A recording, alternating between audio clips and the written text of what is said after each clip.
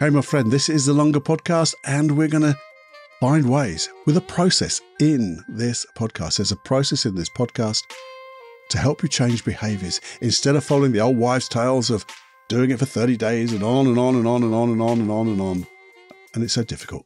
We're going to make it easy with a very simple process that you could do right now. Have a listen after this.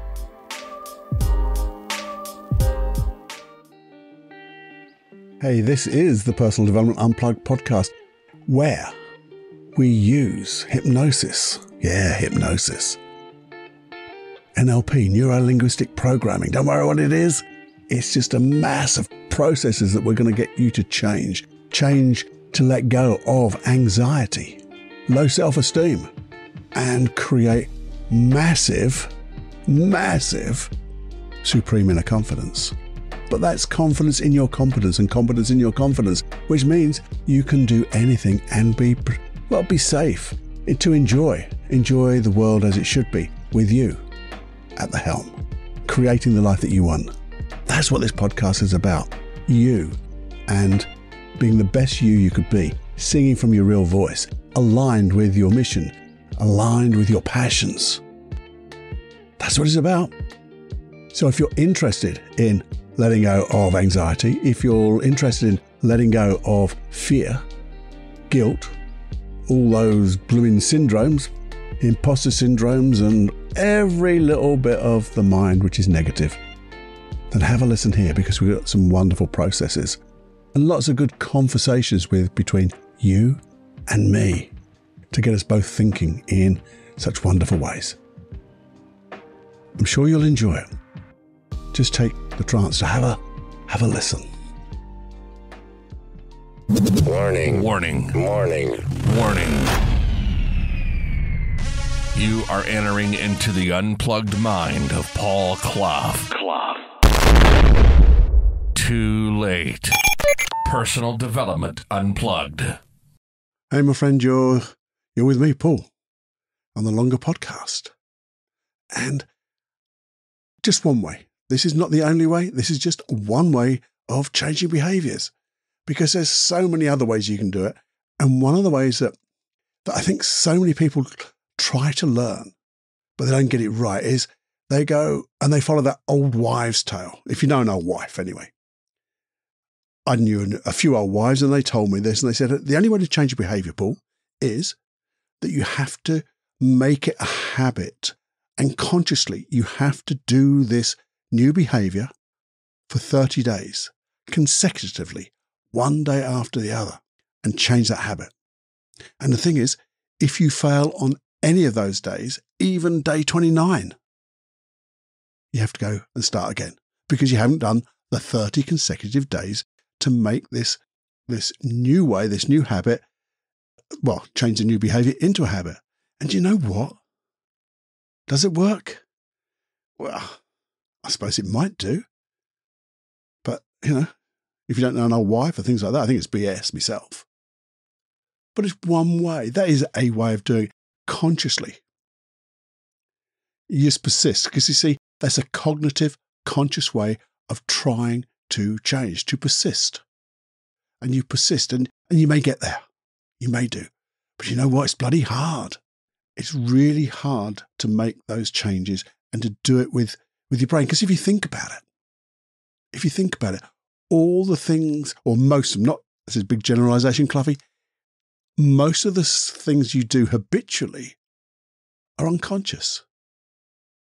So why would you want to change things consciously if it's run by your unconscious mind. You go to the unconscious, wouldn't you? And we'll go there in a minute. But you think, let's let's take this cognitive, conscious way of changing, persisting. Now you could add to that to make it a little easier. And you can do that by adding a review, reviewing your progress. So before you get to that failure on the, one of those days, you do it for the first day, first few days, and then you look back and you review, review your progress. You can put that cross on that diary. The thing is, putting that cross on the diary, the real thing is you get into that habit of, I don't want to stop that progression, which is a good thing to do, but it's still bloody hard. But if you review, you make it a little bit easier because you get that. Well, it feels better, doesn't it? It feels better that, to know that you've done something and you, you're doing it. Thing is, it's still bloody hard. But you could add to that. See, there's all these things you can add. You can add to, well, find your why. What? Yeah, find your why, why it's important to you. People never tell you that, just find the why. No, it's why is this this change, this new behavior important to you? Because if you can find the value in it and it matches your unconscious values, then you will start to change. So, what is important? What is the value of changing? Because sometimes, and some of the times when we fail, the importance, the value is not as big as other values. And therefore, it falls away. So we have to find that why and make that why as big as possible to make it so important that then when we review, we'll get that progress because we'll really persist because we have a real incentive now. Because we've found our why, our value, the positive value of changing. Still bloody hard though. But you can add to that. Can you, Cloughie? Of course you can. You can add to everything. So you can add, having done that, you're going to consciously, cognitively persist. You're going to review and you're going to find your why. You're going to add visualize, visualization, because that's what you've got in, in oodles. You've got bucketfuls of visualization. It is limitless. See, one thing that God, the universe, somebody, or just you, gave you the power to visualize your imagination. No one can take that away from you. No one can control it. So you could visualize the end, the end of that 30 days, and see yourself having achieved the 30 days progress. See yourself having reviewed with all that lovely why and get the feeling. Get that feeling of the wish fulfilled. I'll say that again. Get that feeling of the wish fulfilled, the feeling of, of achievement. Now that makes it a little better, doesn't it? Because now we're getting there, aren't we? Because now we're starting to understand our intention. This is what I want, and this is the feeling I want, our intention. And when you have that feeling of the wish fulfilled, your intention, you can become confident because you have a true intention. Just as Jordan Peterson said, that's where confidence comes from. You, you get your confidence from finding your intention. And when you're confident in that intention, you've got the confidence to find your why. You've got that confidence to, to just keep pushing, reviewing, and persisting. So you're nearly there now, but it's still quite hard because you've still got to persist consciously, really push through those 30 days. And that's a bloody long time as well, isn't it? 30 days. All these, apart from the first one, all the, the various bits we're going to add on, the degrees of which we, we use things like finding our why, reviewing. That's a bit more conscious, maybe, but visualizing is all using parts of our unconscious mind or communicating with our unconscious mind. I think that's better. You're communicating with your unconscious mind where you want to go, your aim, your goal, your wish, your dream. And the thing is, we said before, if your unconscious mind is the storer, the user of habits, behaviors, or generates your habits, your behaviors, generates your emotions, then maybe we can get there quicker, easier than having to slog away and finding an old wife to start off with. Once an old wife. oh dear. Let's get back on track, Cloughie. But you see, you're here with me. I'm here with you. And this personal development unplugged podcast has at its core NLP, neuro linguistic program, programming, which is just really a set of wonderful processes that just bloody work. And they also incorporate and were born out of hypnosis, which goes to the heart of your unconscious mind. So, wouldn't you go there first? Well, I would. Of course, I would. I'm a hypnotist. go there and get your unconscious mind to make the changes so you don't con- consciously have to. The only part you would do, probably, is to review. Because when you review it, you're just tracking your progress and feeling good. So, and the wonderful thing about this is there's more than one process to get here. So I said this is not the only way. But what I've done is I've merged a couple of processes together. And that's the beauty of it. And that's what we do, my sons and I. We look to different processes to find the best parts of them and put them together to create, call it another process born out of all the different things, evolve it and make it as good as we can, really. And then we'll improve it again as we, we get better ourselves. So if we merge these, a good process and another good process, we'll get the best results, I think, when it's most appropriate anyway. And you see, it's not this process is the only thing for that issue. Hell no. We can adapt it. We can adapt to anything we want. And that's what we're going to do. So the thing is, would you like to come with me? Come with me on, first of all, a little journey, well, adventure of going through these processes.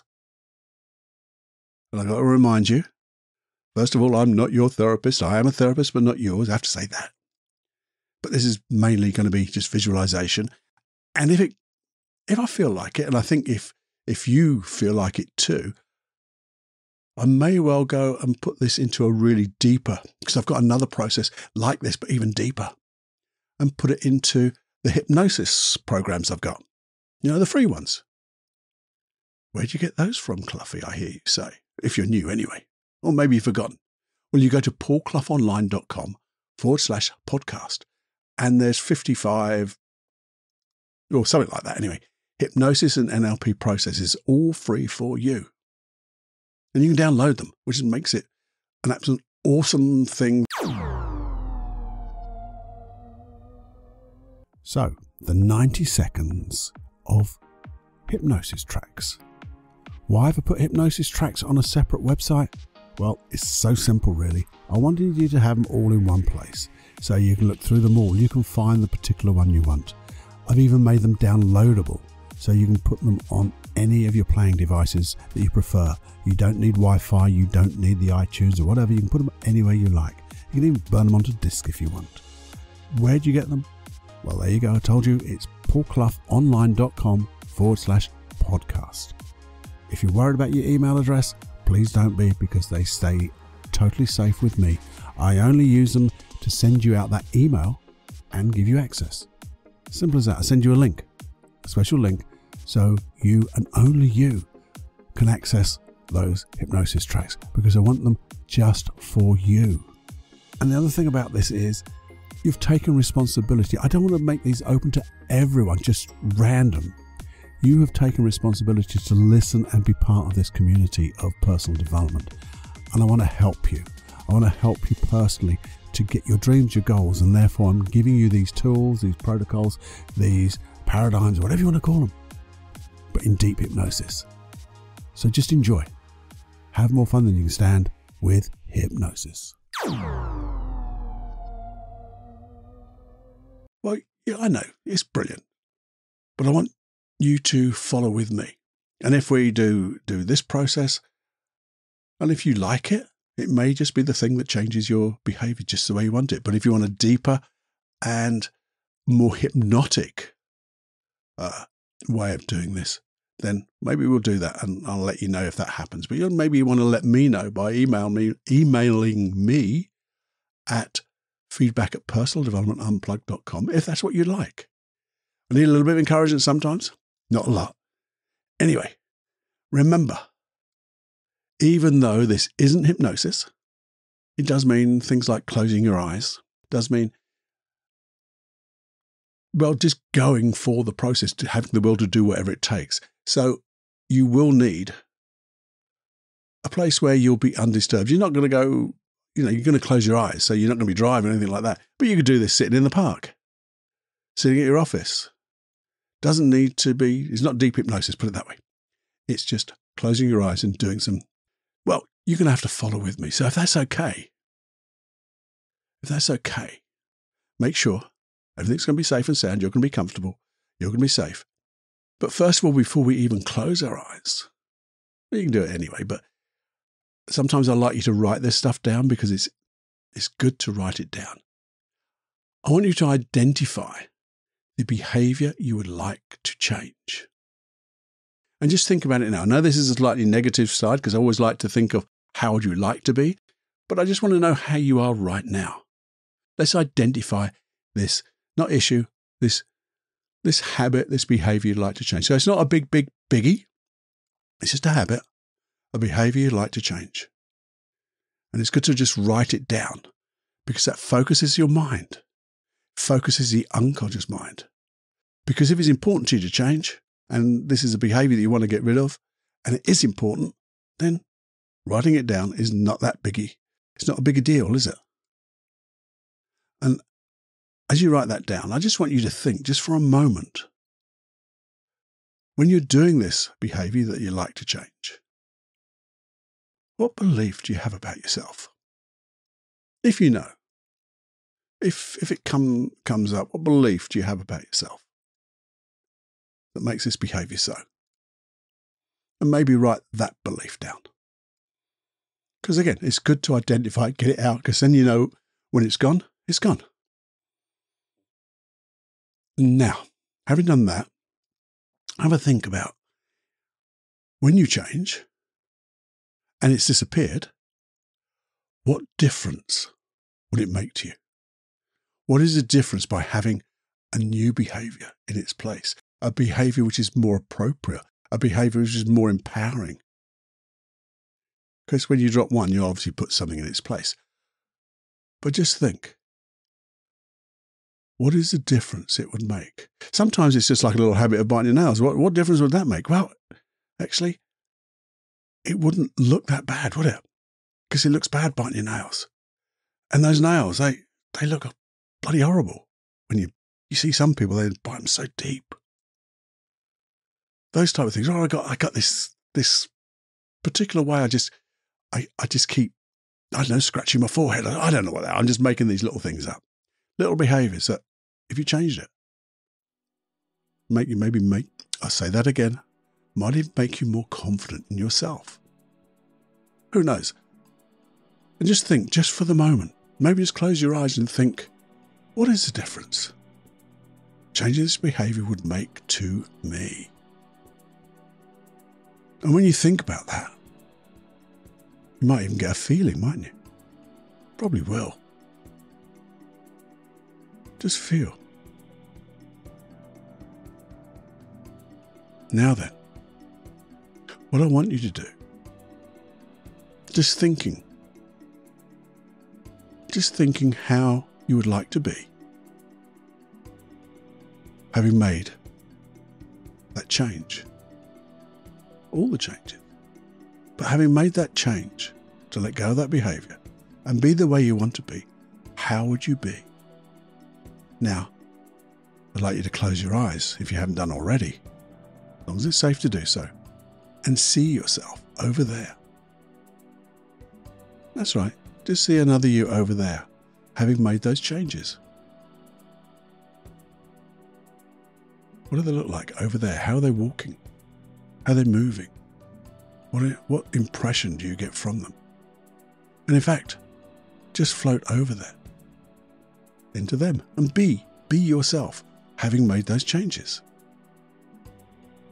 Notice what it's like in that context where those changes will be the most beneficial to you, the most appropriate. These and notice this new way of being. What does it feel like? Maybe it even feels different in your physical body. Maybe you're more relaxed. I don't know. Just what does it feel like? What does it feel like emotionally? Having made this change now. And maybe, just maybe, you can understand what belief you have about yourself, having made this change now.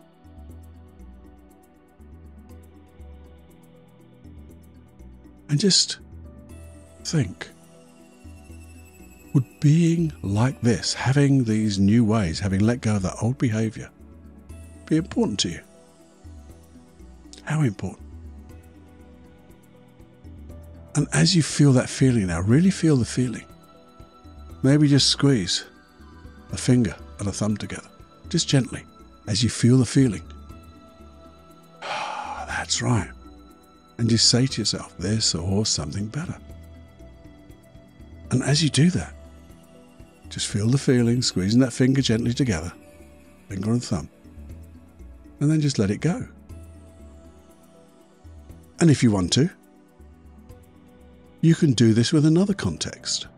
Just imagine yourself over the well, just imagine going into that other context and forget the other that you over there. Just go straight into that other context. Being the way you want to be, having the behaviors you want, having let go of that old behavior. Notice how it feels physically, emotionally, and the belief that you have about yourself. Firing off that anchor so you squeeze that finger and thumb together to get that feeling again even more intensely. And just noticing how important this is to be this way, to you. Saying this or something better. And as you do that, I want you just to remember this feeling. Because I want your unconscious mind to go ahead and discover the natural cue that it will use to trigger this new behavior. In all situations. In all the situations that you want to be different. And at the unconscious level, you can discover that trigger and maybe go out at an unconscious level through the next seven days. Noticing how, when you use this trigger to fire these new behaviors, how many wonderful changes you've made already. And finding new skills. And feel so empowered, feeling like success. And maybe at the unconscious level, you'll go even further, further out to the future utilizing these new behaviors, firing that trigger. This or something better. And as you do that, you can just open your eyes and come back to me. Said it wasn't hypnosis, and it isn't, but we've talked to your unconscious mind because I can talk to your unconscious mind because they're a good friend of mine, you know. We go on well. And that was a very short version, a short version of a longer process. But it's a process, it's a, it's a lovely little process that if you can do that, not if, when, and, so it's when and you do it. And maybe you do it just a few times, not many, because we're, I'm not asking you to do it every day for the next 30 days, because that would be like the first thing. But just get that feeling, the feeling of the wish fulfilled. Noticing how important it is to you to change, what it feels like, firing off that anchor, which is just really just squeezing that finger and thumb together again, just as you do it. Maybe as you go into that context, will you notice how you want to be today? You just fire off that anchor to remind you, because you're reminding your unconscious mind, this is how I want to be. It's important to me. This or something better. And then notice how things change. We're still going to do that review because reviewing our changes, we I think we should do that most days in some ways, I review mine in my little journal. The first part of my journal is how my yesterday was. What have I learned from yesterday? And how can I apply that today? Am I happy with it? Can I make it better? We can always make things better, can't we? And I know probably you're thinking, hell, Cloughie, that was pretty simple. Really? Is it going to work? What do you think? We know. Even from my last podcast, you know, don't be don't be fooled by the simple things.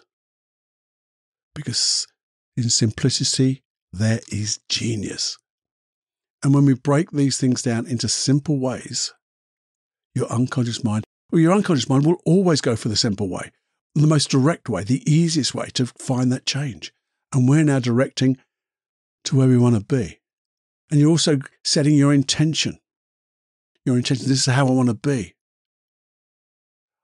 How I'll be when I have all those changes.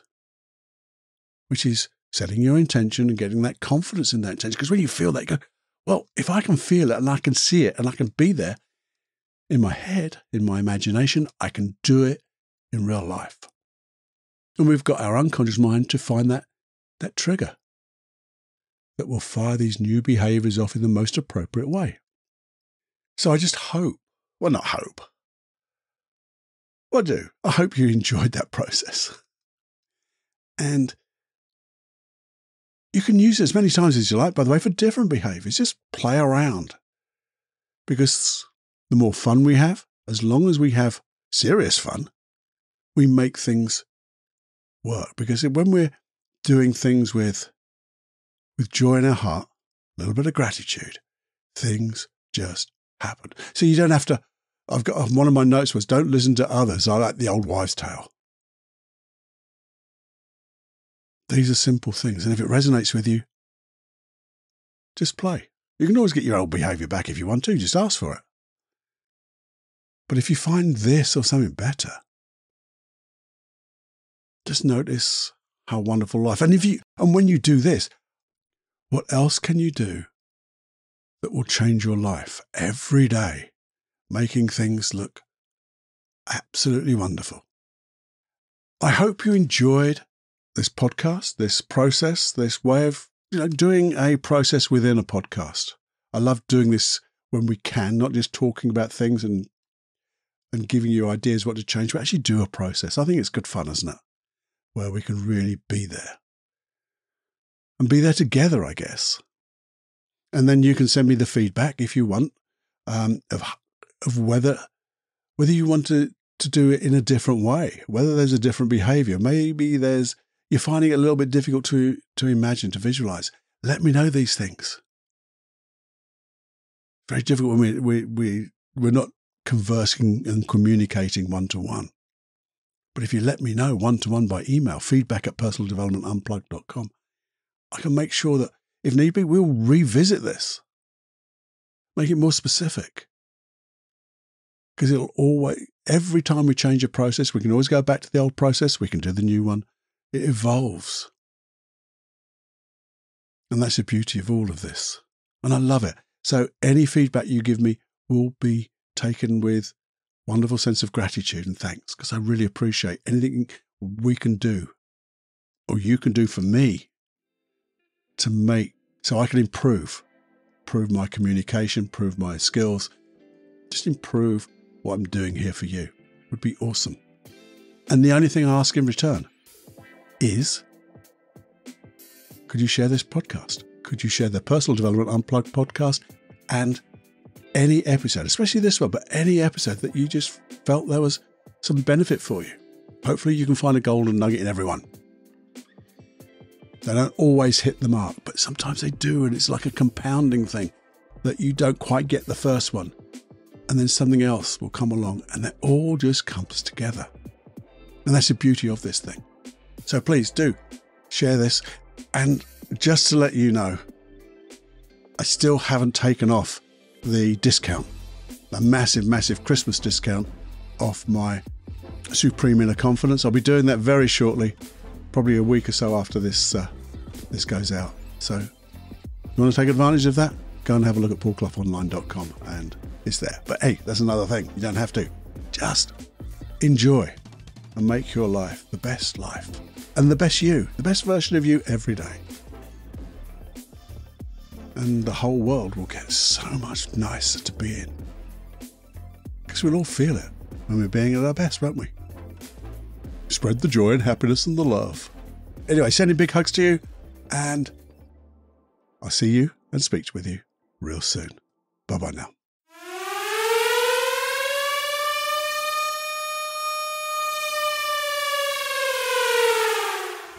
Warning, you are now leaving unplugged mind of Paul Clough. It's time to fly on your own. Be brave, my friend.